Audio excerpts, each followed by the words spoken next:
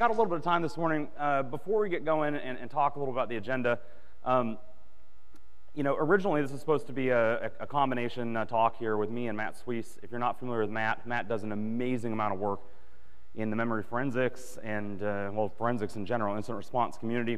Uh, he was also called out by the shadow brokers. We were actually called out together. Uh, they correctly identified that, you know, where I used to work and totally messed up with Matt because I don't think Matt ever worked there. He's not even a U.S. citizen, so probably not a good, uh, not a good match. But uh, Matt took it like a champ, uh, and he's been doing a lot of, again, speaking truth to power kind of things. That's what I was going to hit, actually, the truth to power thing, because Rob's not quite telling the truth there, right? he says, he says, yeah, and I appreciate that, but when I got in the fight with the White House and an official White House account started fighting back at me in January, we were together at a SANS event.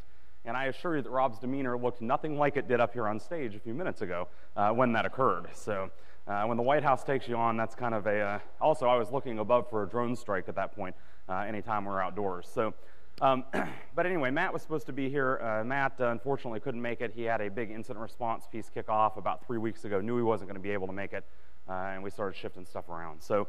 Um, unfortunately, there's some stuff that I can't say up here because of my background uh, that I was heavily depending on Matt to say. Not because we coordinated anything, but I saw Matt's Black Hat presentation last year and said, hey, if you want to go and talk about some of this other stuff, that'd be awesome. And he's like, oh, yeah, totally. I'm going to hit this, this, this, and this. And I'm like, that's outstanding, man, because I can just shut up and you can do whatever you want and good to go. So uh, that doesn't mean this is going to be a bad talk or a boring talk, just a slightly different talk than we were planning to have, uh, planning to have before.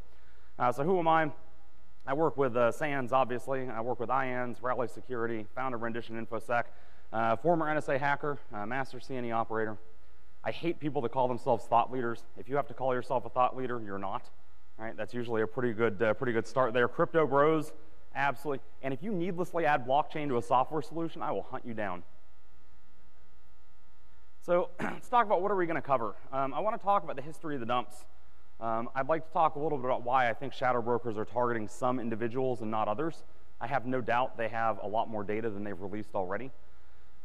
Why should you as a digital forensics professional, I think this is the most important thing we're going to cover today, why should you as a digital forensics professional be studying these and other intelligence community leaks even when your boss says don't? Now, I know this is a controversial topic. I've written on this in the past. I've gotten a lot of flames uh, coming back here from, uh, from that. Uh, but, uh, you know, this is a hill I'm willing to die on, uh, literally. Uh, but, you know, again, a lot of folks here, because of their security clearances, because of where they work, because they have government connections, are told don't go look at these dumps. They're classified data. They remain classified until the government declassifies it, even though it's on the internet, right? for everyone to see. You know, and I think those laws and I think a lot of those policies haven't caught up with, well, the digital age that we all live in today. But you should be studying these. I'm going to walk through a few reasons why. Uh, probably make a couple folks in here uncomfortable. That, that's fine. Uh, I want to talk about the deeper implications of the shadow brokers dumps uh, in general as well. Yeah, here's what we're not going to cover. We're not going to talk about any classified information not already in the public, right? When I say not already in the public, um, for those that uh, you know have a security clearance and are super worried about this, uh, I will tell you I have a couple of screenshots from the dump. So if you need to leave now, by all means, take off. Uh, I'm good with that. Uh, I won't confirm that these tools belong to NSA, right? I think other people have already done that. You certainly won't hear me uh, talking about that. I won't talk about why, what specifically I did for NSA or why I left.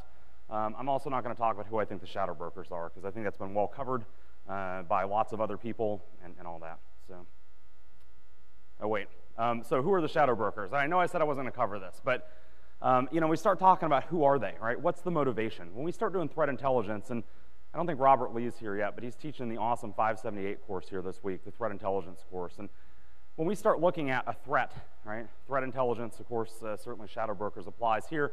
What we're looking at here is the intersection between intent, opportunity, and capability. And by the way, if you're trying to remember that, that's IOC, right? So as threat hunters, we all remember indicators of compromise, intent, opportunity, and capability. From a capability standpoint, there's no question that these folks, right, have some awesome capabilities. Either they've got a great insider who's feeding them data, or they've got a way to get classified data out of uh, what should be one of the most secure places I would think on the planet.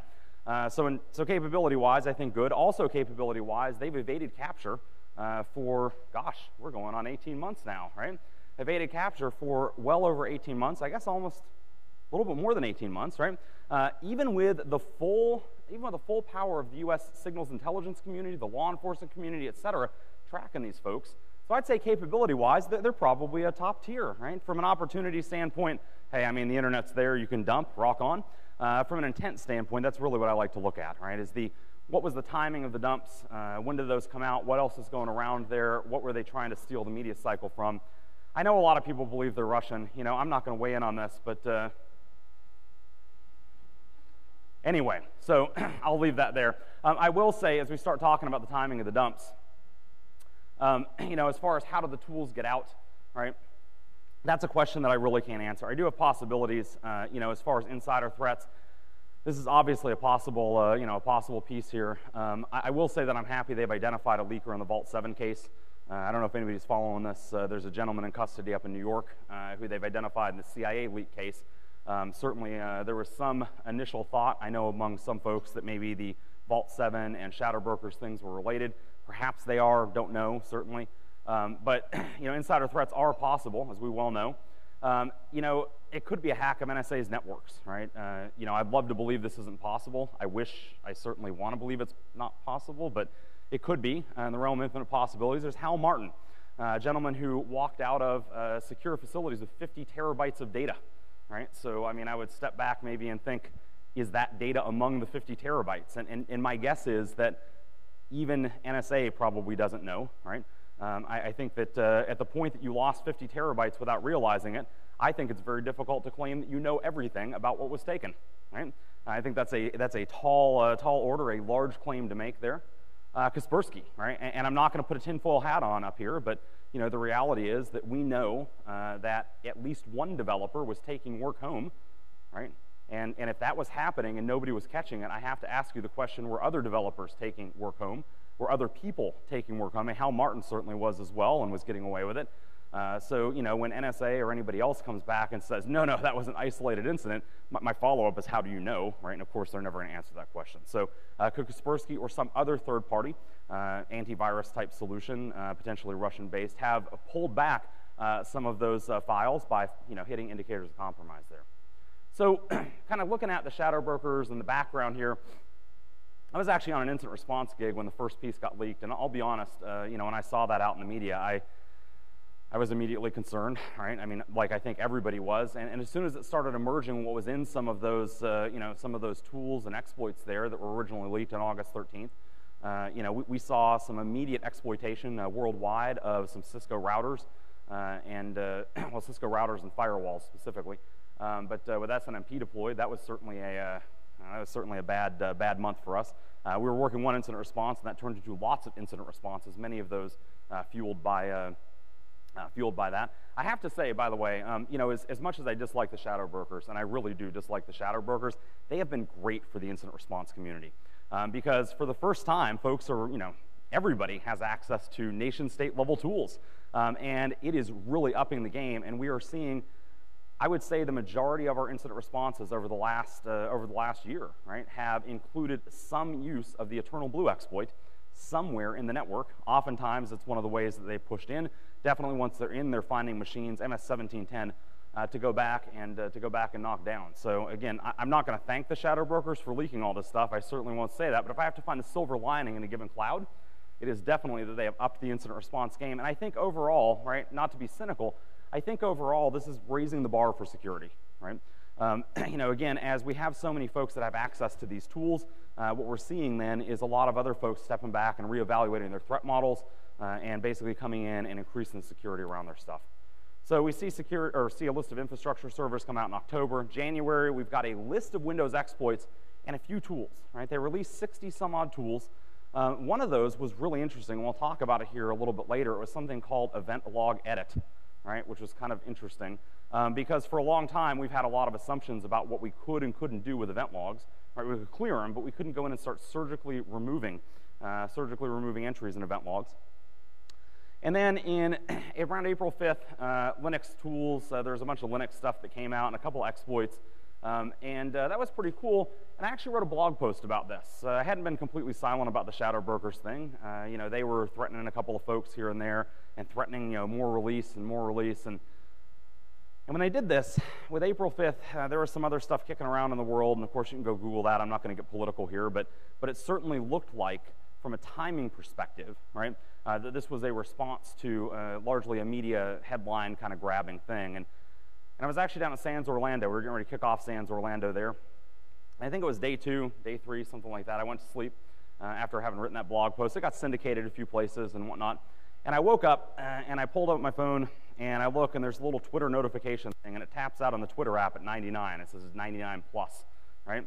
And I open that and then I see that I've been called out by, uh, well, what is likely to be a hostile nation state here, uh, the shadow brokers, right? So my phone is at this point, not only do I have the Twitter hits, I've got, you know, dozen signal messages, you know, I've got call, missed calls from, uh, you know, two people I work with. I've got several missed calls from my PR guy who is like losing his stuff uh, from, uh, well, because I mean, he's getting called too. He does PR for my company, right? And so I'm like, oh, this is not good. Uh, so, anyway, uh, that made for an interesting conference, definitely, right? I was actually teaching 760 out there, uh, exploit uh, or advanced exploit development. So this worked in really well, the fact that they had dumped a bunch of exploits that we could also look at. That was cool. but that said, right, as we start looking at these Windows exploits, of course, you know the history here with Eternal Blue. I'm not going to walk through the WannaCry and NotPetya and the dozens of other places that MS-1710 has been included in. But I do want to talk about the deeper implications of the dumps. And, look, this is the, if you take nothing else away from this, you know, this talk, this is, this is, where to, this is really where it's at, right? We're at a digital forensics conference anyway, uh, so certainly this makes for, uh, makes for some apt, uh, apt discussions. Um, I want to talk about uh, a couple of notes here. I don't want to talk about how the equation group may or may not have used the tools we're going to discuss. Uh, because I think that's probably not a, uh, not a rocket science move there. I think that leaves uh, me in little bracelets at the back here. Um, but I do want to highlight capabilities that have been released. And every one of these are capabilities that other people have talked about publicly, right? Um, and inside the dumps. Um, and I want to talk about how this should force us to fundamentally change what we believe to be both in the realm of the possible and the realm of the reasonably likely, right? Because when folks come out and they say, what's in the realm of the possible? Yesterday, uh, somebody asked Nicole uh, Ibrahim, who did the the awesome event trace, uh, event trace logging and ETL stuff, they asked, hey, could somebody edit that stuff? And, and in the back, I'm thinking, wow, come on, man, of course they can, right? But, but then again, I'm thinking, now that's in the realm of the possible. What's in the realm of the reasonably likely? Would an attacker do that? And secondarily, if they did it, what forensic traces would it leave? Right? So as we start talking about this stuff here, I want to highlight that, again, we're just looking at capabilities. Now, from a should you do this? Should you be analyzing leaks, right? Obviously, if you work government stuff, this is, eh, right, a little third rail kind of stuff, right? Um, I want to come back and tell you that we have seen already, it took two months, not for Eternal Blue, took two months for the actual event log editing code to start showing up in malware. I'm sure it happened quicker than that. We just saw the first sample two months in, right? And you can go in and I can use the Yara signature and I can look at specifically the list of API calls made and the way that they're made and it is the code, right? So two months is what it took, right? So as we step back here, if you're not looking at this stuff, let me go ahead and, and tell you that your attackers are, your adversaries are. And the interesting thing is, most digital forensics professionals that I talk to, most InfoSec professionals, they want to look at these dumps. And the people telling them not to, it's the bosses, right? And the irony is, it's always the boss, it's always the manager who comes in and like, it's APT that's attacking us, right? And I'm like, yes, absolutely, they're advanced. They're advanced persistent threat. I always like when somebody says APT to say, what does that stand for? And oftentimes they don't know. That's the cool part. Uh, but I like to come back then and break it down for them. We say APT. I like to walk them through that. And here I want to focus on the A, right? The advanced piece. Because I want you to, I want to ask the question, do you think your attackers are so advanced that they're compromising your network, but they're also not advanced enough to download a dump from the internet and analyze it? And if they know about these capabilities, shouldn't you? And they're like, well, haha, Armed with that logic, I can tell you nothing but don't look at the dumps. Wait, what? No, right? So again, as we start talking about this stuff, it is important for you to understand the capabilities. Between this and the Vault 7 dumps, every nation state attack group on the planet is looking at these, and they are leaps and bounds. They're learning from tens to hundreds of millions of dollars in research, uh, paid for presumably, again, I'm not going to confirm or deny anything, but paid for presumably with your tax dollars, right? You should absolutely be benefiting from this. So I want to talk about five deeper implications, and there are way more than this, right? I would ask by show of hands how many people have actually analyzed the dumps, but I totally don't want to put any of you in a bad position, right? Either for raising your hand or not raising your hand. But I'm going to tell you there's a ton more in this that folks have talked about publicly. Uh, again, I want to focus on these five threat hunting the equation group actors. Uh, an equation group is the Kaspersky name for what was released in the Shadow Brokers dumps. Uh, the disable auditing piece, I want to talk about event log editing, hacking Oracle, uh, and then threat hunting other actors uh, in networks. So, threat hunting the equation group. Uh, this is one where I would step back as we talk about, uh, start talking about the, excuse me, start talking about uh, our courses of action in threat intelligence or courses of action incident response. We talk about both detection and discovery. Detection is basically getting a signature, right, and dropping that signature in, let's say on your IDS, uh, and waiting for a hit. And then there's discovery, and that's post hoc signature use. That's the, we didn't know this IP address was bad or compromised yesterday when we actually had a connection to it, but can I go back in my logs? Can I go back in my NetFlow, my PCAP? What about tool signatures, file names, registry keys, service names, right? And I know a lot of folks are like, yeah, but totally they would have cleaned that stuff up once they knew it was compromised. And, and I have to say, maybe, right?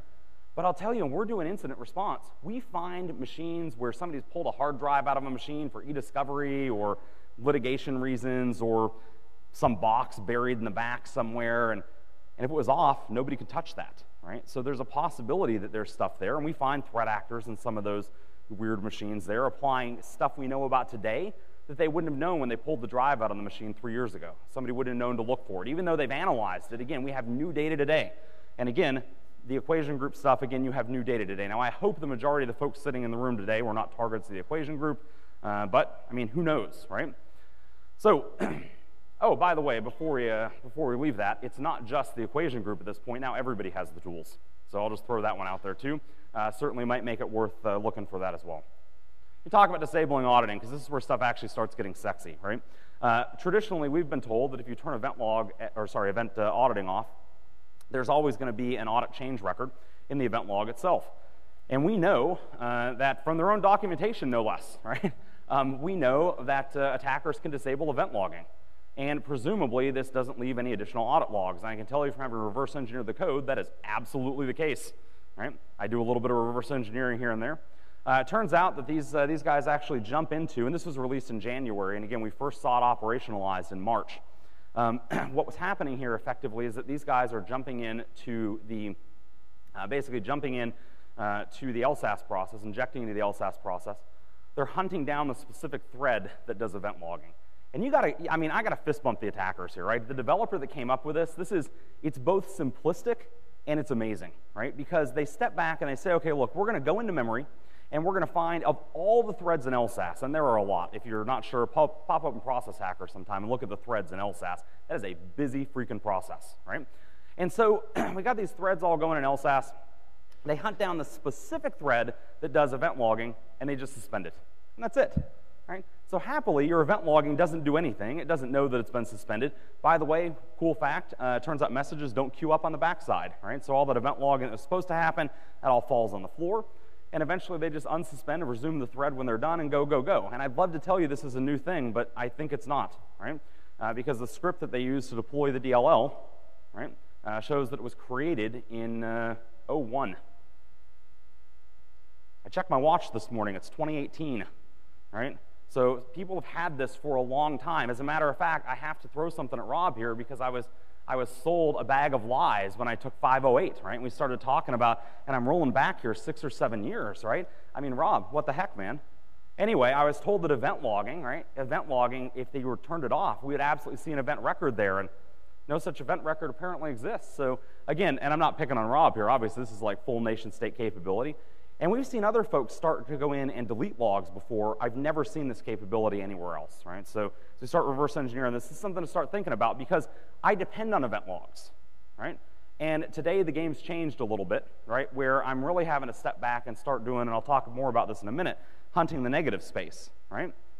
Because as I start hunting the negative space, I've got to ask, what should be there based on all the stuff that I know, right? Whether it's ETL, whether it's prefetch, whether it's shimcache, amcache, other evidence of execution, based on what I know must be there, what isn't in the event log. Before, I used to open up the event log and I'm like, hey, what's in the event log? Now I've got to ask myself what's in the event log and what's not in the event log. And what's not in the event log is possibly, and in many cases, every bit as important as what actually is. So we find out not only can the attackers suspend the event log or suspend auditing, they can also surgically edit event records, right? So presumably this is the kind of thing where before you got on the box to inject or before you elevated or whatever, uh, privilege escalated to get into LSASS, again, what logs did you leave there, right? Now we had some evidence previously that a couple of APT groups uh, had this capability. Uh, normally, again, we would find this not by looking at the tools, right? Because usually they, they had great OPSEC and they took their tools with them. Uh, didn't leave them on disk here, and they did usually secure deletes. Uh, but we would see stuff like, for instance, a 4625 with no 4624. Or if process auditing was on, right, we would see the actual session ID and there was no logon session ID. And I love those, right? That's one of those.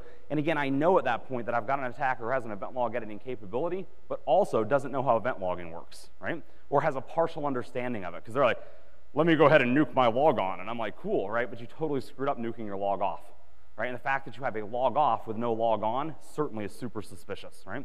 So again, what we're looking here is uh, we're looking basically what we call hunting that negative space, right? We're looking at what must what must be here, right?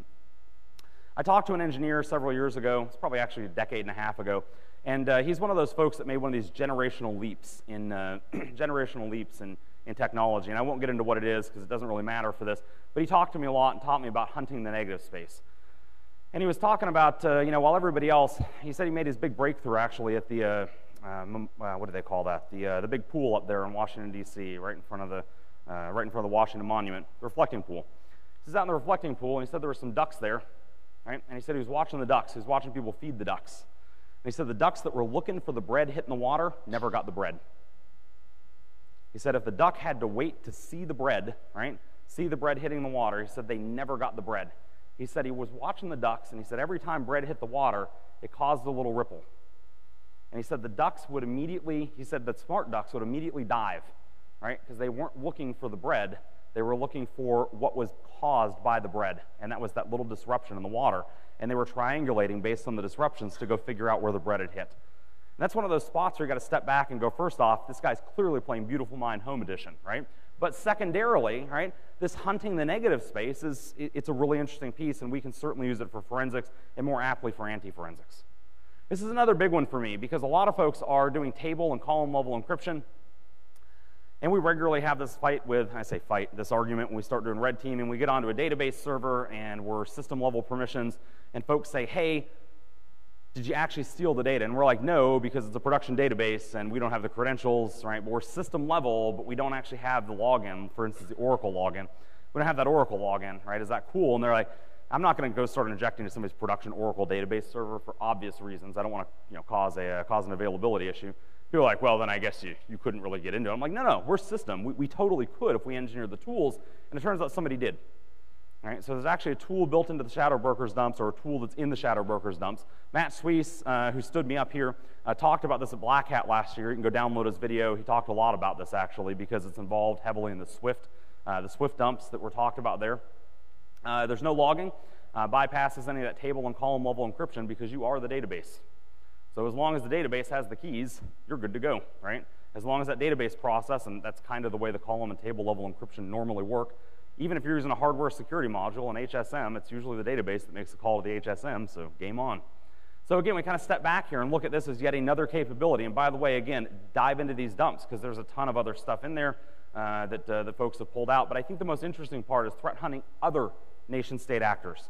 Hungarian researchers disclosed earlier this year that there was a program or a set of files that they called territorial dispute. And they talk about enabling the equation group to go hunt for other nation-state actors. Meaning, in the shadow broker's dumps, right, there are a bunch of IOCs that the shadow broker, or sorry, not shadow broker, me, the equation group themselves had built to go detect their adversaries, right? So counterintelligence. And largely, we're not using this. In fact, it took almost a year. I think it was March, uh, March of this year, and the dump was created or dump was uh, released April of last year, right? So we're looking at 11 months ish uh, between the time that the dump was publicly available and somebody called this out. I have no doubt that other folks found this without reporting on it. But what you have now effectively is a ton of government IOCs, government built indicators of compromise, uh, to target other groups. The really cool part is we can confirm, uh, based on some publicly known IOCs already, we can confirm that some of those IOCs match up with a couple of nation state threat groups. And so you can infer that the rest of them also do we just didn't know about them, right? So, free beer, right? Um, I'll talk quickly about uh, kind of living in the shadows of, of, that disclosure because, you know, there was a lot here that I really didn't know how this was all going to play out, right? I'll tell you that if you'd asked me prior to April what I thought was going to happen, if, for instance, a Russian intelligence, sorry, excuse me, a hostile nation, no, a anonymous group that's dumping stuff on the internet, if you asked me, you know, what was going to happen when they did that and when they called you out as a former NSA hacker, and, and caveat uh, here, also spoke in enough code, we'll say, for me to kind of a, hey, we know, and we want to make sure that you know that, that we know kind of thing. Uh, if I, you know, if you'd asked me how I thought that was going to play out, I absolutely thought, and in fact, notified SANS. I said, it will not surprise me, because I'm teaching, right? So it will not surprise me if, if the FBI shows up here, right, and, and pulls me in for questioning and the whole, you know, whatever. I, I just, I don't know how it's going to play out, right? Or, you know, again, who knows, right? Um, my threat model absolutely changed overnight, right? So um, I, I will tell you that if you're working in government today, understand your threat model because I'll tell you absolutely I did not. Um, nothing stays secret forever, right? Uh, between different, uh, different organizations, uh, I spent, gosh, almost two decades in, almost two decades in intelligence. Um, and today, what's changing is that intelligence community leaks and compromises are absolutely rampant. Before you do it, whatever it is, think about how that would look if your actions were suddenly on the front page of the New York Times, for instance, right? Um, so, by the way, that was an absolutely wild, uh, wild event. The New York Times came down and they wanted to talk about the shadow brokers a little bit, and they wanted to cover it from the perspective of you know, again, taking a little bit of a look at, uh, you know, what was it like after, after getting outed. Um, and that was kind of interesting. And, and, they actually ran the story. It's another SANS Summit, actually, uh, the Hackfest last year. And they ran the story in digital form on Sunday, right? And of course, you know, again, Twitter mentions blowing up and everything. And I didn't think it was going to go in print at all. And I walked in Starbucks Monday morning, and uh, you know, of course, Starbucks in D.C. there has all the papers from you know the major papers there. And I I look and I'm on the front page above the fold of the New York Times, right? So my photo's there and I'm like, oh, wow, okay, that's interesting. And how do you not buy one of those, I guess? So I go ahead and grab a paper, right, and put it down there with my coffee. And uh, the barista who's ringing up looks down, looks up, looks down, looks up. She's like, that's you. I'm like, it is. She's like, what'd you do? I'm like, never mind, right? Just bring up the coffee. We'll just roll there, right? So, um, but that was truly a surreal experience, right? So, and I hope it never happens again. Um, look, uh, you know, from a from a threat model standpoint and understanding your threat model, right? I assume that what I did was never going to be detected, right? Because, well, we're pretty good at that. Um, if it was detected, it would be attributed to the US. And if it was attributed to the US, it wasn't going to be attributed to me. And I'm positive that none of those are true now. Right? I'm positive that none of those are true now. I've already restricted a lot of my travel, a lot of my travel, um, and I expect that that will continue to, uh, continue to restrict quite a bit, right? And by the way, it's not just about where you're traveling to, it's where you're connecting through. Uh, that's certainly a concern. And I'll tell you another one that hit me uh, last year, and I'll leave some of the countries out because it doesn't really matter. It's where are you flying over? Because we had one of those, uh, we'll say, a little engine issue, right? Where you ever been on a plane, right? You're 35,000 feet flying along, and all of a sudden you hear that clunk, right? And you know when you hit 10,000 feet, they do the ding, ding. There's a three ding one, and that's the flight attendants prepare for an emergency, right? and they did the ding, ding, ding, and I'm like, oh. And in my in-flight entertainment system, I look over at the map and I'm like, oh, well, that's going to suck, right? Because then I'm looking at very seriously, if we land, do I take back off, right? Um, I have since started looking, I, I, know more about flight routes, I bet, than any non pilot or non airline industry person. I travel internationally a lot. Uh, I know a lot about flight routes at this point, and I'll just leave it there, right? Because there's countries that I won't fly over either.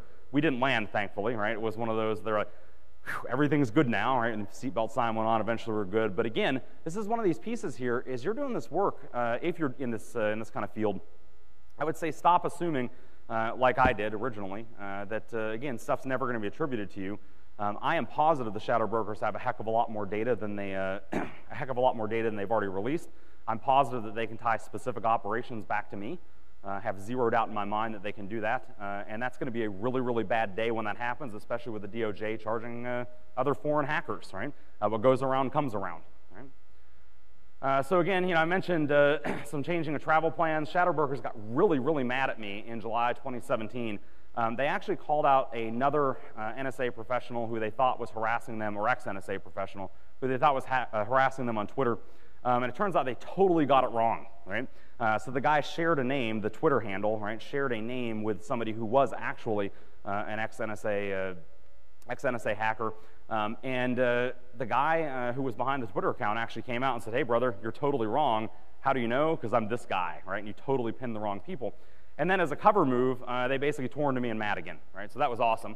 Uh, they came right back and they're like, we knew all the whole, the whole time you weren't that guy. And, but you know who we got right? Jake, right? And I'm like, really? Thanks. Um, so that sucked, right? Uh, so I actually had to cancel a couple of overseas engagements because again, uh, you know, there's the what you know they've released, and then there's the stuff that you know you did, but you don't know that they've released that to other governments, and you can imagine. Anyway, it's a heck of a lot harder to understand the threat of a disclosure made privately to a foreign government, right?